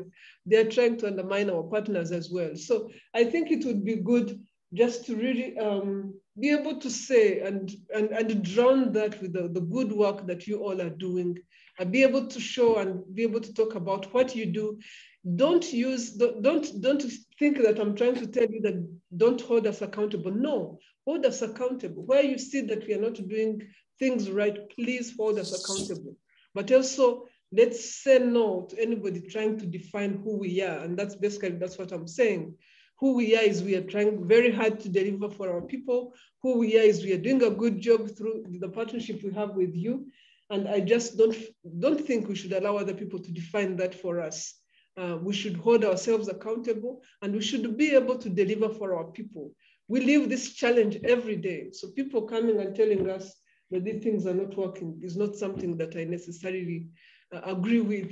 So I'll stop there and um, do what Aggie has asked me to do, but really again, recognize that the energy you have brought into this institution and to this sector, the, the sacrifice, the personal sacrifice on time that you have put in to be able to get things where they are, the, the, the, the, elevation you have put for the sector in terms of the government itself, but also, uh, you know, everything that, that smallholder farmers represent in your country, we appreciate it because this would not have happened without the personal effort you've put in. So over to you, Honorable Minister, and again, good to see you again and good to be working with you. Uh, thank you very much uh, for your presentation.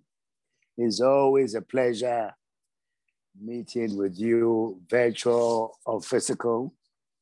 And I know that the big responsibility that the United Nations has given you in coordinating this great idea of the food systems is going well, and I wish you all the best uh, for the coming months. Uh, I'm supposed to be uh, doing a wrap up on our policy issues here in Ghana. And uh, first of all, let me greet you, the President of AGRA, Madam Agnes Kalibata again, the West Africa Regional Head, Mr. Foster Boateng, who has so ably represented you here in Ghana, in, in the region, uh, development partner, directors of MOFA, ladies and gentlemen. In 2017, when I had just been appointed Minister for Food and Agriculture, one of the first visitors I received was no less a figure than Dr. Agnes Kalibata. He paid a, a courtesy call on me and engaged me uh, with other stakeholders to secure their buy-in for the government's vision of modernizing the agriculture sector in Ghana. We solicited for both technical and financial assistance of our development partners to roll out the government's flagship campaign of planting for food and jobs. It is sad to say our planting for food and jobs campaign initially did not resonate well with most of our development partners. I dare say there were doubting Thomases. The government's agricultural transformation agenda, which is reflected in the National Agricultural Investment Plan, branded Investment for Food and Jobs, with the Planting for Food and Jobs campaign flagship driving five strategic modules all geared towards enhancing food security, job creation, improved incomes for the farmers, and a general improvement in the economy. These modules are the food security module that's to increase the productivity of smallholder farmers, the production of selected food crops and vegetables. The second one is the planting for export and rural development, a strategic module for tree crop development. The third, rearing for food and jobs, a module to enhance the livestock sector. The fourth, greenhouse vegetable production, and then the mechanization of farm services, especially on smallholder agriculture. Now let's see the kind of support that AGRA has given to this ministry in the past four years.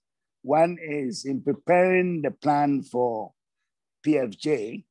It was during these very difficult times when we had doubted Thomases amongst the uh, investment community, the uh, development partners, when AGRA came along under the leadership of Dr. Kalibata, the president of AGRA, to provide technical assistance to the ministry to develop a five-year strategic plan for planting for food and jobs. The strategic module for food security consists of the four investment buckets.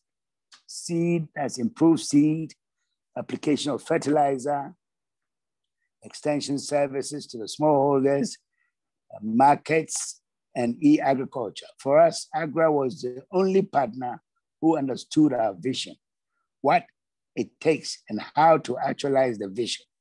During the plan preparation process, AGRA consulted with the relevant stakeholders, including development partners, civil society organizations, the private sector, and other relevant GOG MDAs. And in this respect, I must mention the contribution that Mr. Foster Boateng made in this effort in trying to link us up with these stakeholders. The plan was further validated by the Agriculture Sector Working Group for Buying. Was after the plan has been, had been developed and accepted by the Agriculture Sector Working Group that partners like USAID committed to engage a technical assistant to develop the M&E framework for resource tracking. Other partners, including Global Affairs Canada, the African Development Bank, the World Bank, aligned their programs resources to support selected pillars of the PFJ. In the implementation, AGRA, through its country strategy for Ghana, aligned its program resources to invest in seed, fertilizer, and, mar- and market pillars of the PFJ. Now, policy and regulation. On the policy and re regulation front, I'm aware of AGRA support to MOFA in the following areas. Seed regulation, Plant Variety Protection Act, aflatoxin regulation and control, development of Ghana agricultural insurance policy, an amendment of Act for Incorporation of Agricultural Insurance, the National Insurance Act of 2020. Third generation of food and agriculture sector development policy, FASDEP 3, and finally, data collection and analytic capacity for the AU CAADP biennial scorecard for mutual accountability. Convening platform for mobilizing agricultural investment. Partnered the government of Ghana to host the 2019 Africa Green Revolution Forum that brought together over 2,500 delegates in the agricultural ecosystem to deliberate on support to the sector. Flagship design support is a fifth item in terms of the support that the government of Ghana received from AGRA, pro provided technical assistance to develop strategic plans for the following flagships. Planting for Export and Rural Development, now the Tree Crop Development Authority, Rearing for Food and Jobs, the livestock module of PFJ, and the Ghana Fertilizer Expansion Program. What changes are we seeing in Ghana through our partnership with AGRA? A, use of certified seeds by smallholder farmers has increased from 11% in 2016 to 43% in 2020 among PFJ beneficiaries. B, yield increases. PFJ has within four years facilitated the access of 2 million farmers to improve seeds, fertilizers, extension services, and markets. Key results include, but not limited to increasing yield of rice and maize from 2.8 metric tons per hectare in 2016 to 4 metric tons per hectare in 2020. That's for rice. And for maize, 1.8 metric tons per hectare in 2016 to 3.5 metric tons in 2020. We're hoping that we'll increase this to five, six metric tons per hectare in the next couple of years. Production volume increased from 1.9 million metric tons in 2017 to 4 million metric tons in 2020 for cereal, making Ghana now self-sufficient in maize production.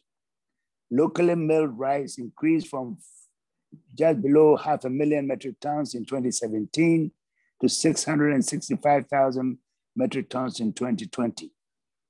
National consumption is estimated at 1.3 million metric tons, placing Ghana at 55% self-sufficiency in rice from 30% in 2017. Our expectation is to become fully self-sufficient by 2023. D, quantum leap in agricultural growth and public expenditure. Public expenditure in agriculture increased from 6.5% in 2016 of government budget to 10.32 in 2018 and growing the sector from 3.5% in 2016 to 6.6% in 2019. We are on course, of course, to get to double digit growth in agriculture in the next few years. E, Ghana improve its agricultural, African Agricultural Transformation Scorecard, AATS, from 3.9 in 2017 to 6.67 in 2019. In 2019, Ghana was among the only four countries in Africa, including Rwanda, Morocco, and Mali, that were on track for implementing the CAADP Malabo Declaration. We owe this achievement partly to AGRA for the technical assistance to strengthen the ministry's uh, M&E capacity.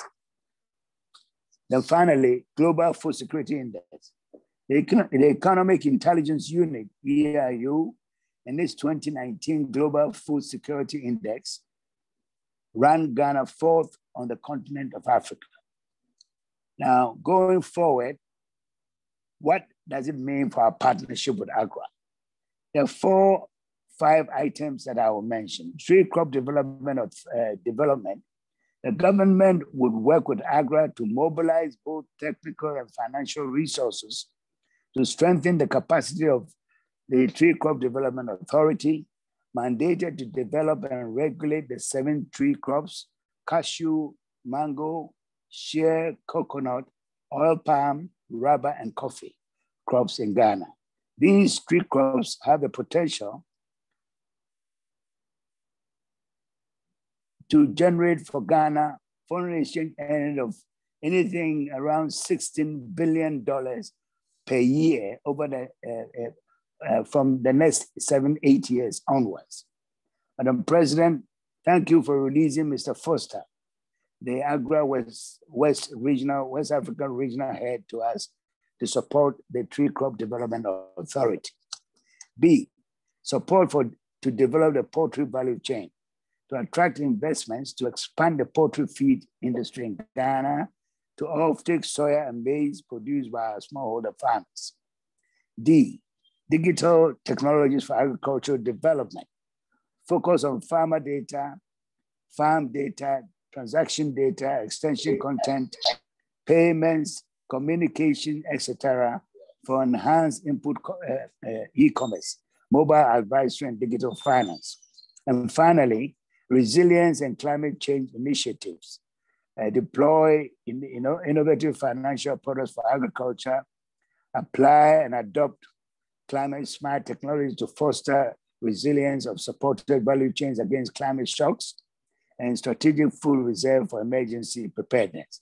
In conclusion, Madam President, the government of Ghana is grateful to AGRA and its partners, that is Bill and Melinda Gates Foundation, the Rockefeller Foundation, USAID, BMZ, and FCDO, former DFID.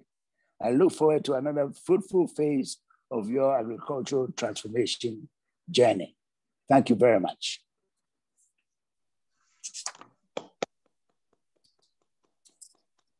Thank you very much, uh, Honorable Minister, for those very, very incisive and articulative words of wisdom. Uh, but most importantly, thank you for supporting AGRA. Thank you for having the passion to indeed transform agriculture in Ghana. Ghana continues to become an example or a frontier country in Africa that has committed to the sector. So as we come to a tail end, it is not wise for me to speak after our leadership has spoken, but allow me uh, to break protocol for once to just quickly summarize the things that have come out of this webinar. Uh, but firstly, to thank our panels, our moderators for an excellent job done this afternoon, and also for our audience that has been patiently engaged since we began with lots of comments that have come through the chat. But unfortunately, due to time, we will not be speaking to most of them. I have summarized them as follows. Most of the audience have concurred with us and with you, Mr. Minister and Madam President, that we need functional ecosystems, that we need capable partners that have good skin in the game. And I think today we did hear from a couple of those partners and had the skin they have put in the game, but most importantly, the ambition and the hunger they have to actually deliver on the push to 2030 that our president has spoken to. But also importantly, to focus on scalable tested models that our partners and most of our panels have actually been speaking to today. So we do have the models, they have been tested in the last five years and more. What now needs to be done is to scale them. So the challenge to you, uh, Honorable Minister, is how do we scale these beyond the geographies in which AGRA has been participating, but also how do we scale these to other countries? Because the problem of hunger is not unique to Ghana, it is unique to the continent and to the world. And the local solutions are the, are, are the way that we are going to make this happen. But I also had some voices that are not happy, and I think it is prudent that we hear them and very specific to Sebastian's Alessand's challenge that we should stop, start moving away from handouts to begin to innovate locally and find local solutions. Sebastian, we have had you, we agree with you. How do we do this? And you know, we want to pass back the challenge that you should lead in this and work with us and all other ecosystem actors on how do we move from handouts to really sustainable solutions, which again speaks to uh, the sustainability agenda that we've been speaking to. But also Abdul Hakim comes and challenges us not to politicize the journey of transformation. Again, Abdul, your voice has been heard. Again, how do you separate politics from economy and from ensuring that we put food on, on place and families of our households? I think it's not an either or, but again, we have had the comments and we will continue to have these conversations. This is just a start, but the push to 2030 is real. And Madam President, your challenge is accepted. I will speak on behalf of the audience here tonight that the challenge is accepted. Let us continue to work together, a luta continua. Thank you very much and allow me to close this webinar by once again thanking all of you, but most importantly, the Honorable Minister and our President for taking time to attend this webinar. Thank you. God bless. Stay safe. Thank you very much.